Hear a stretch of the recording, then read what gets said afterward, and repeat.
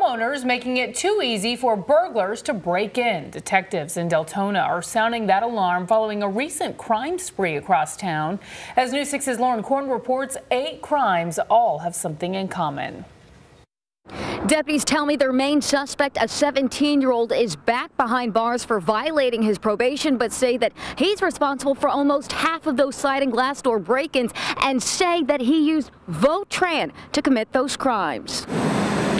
Got to give him credit for ingenuity thinking, but the, you know, he should put that to good use. Instead of breaking into Norlene McCoy's Deltona home last Thursday. Just enough space to get out. McCoy says after the crook squeezed through the fence, he slid through the sliding glass door that McCoy says usually is locked. Put the stick in for added measure. Just so happened, stick wasn't there.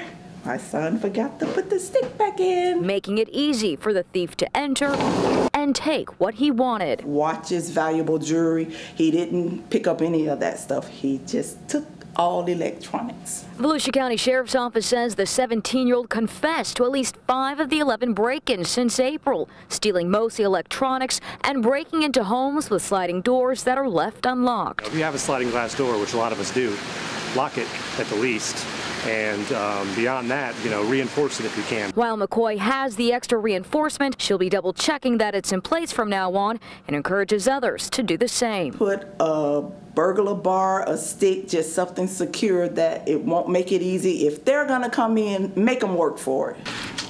In Deltona, Lauren Korn, News 6.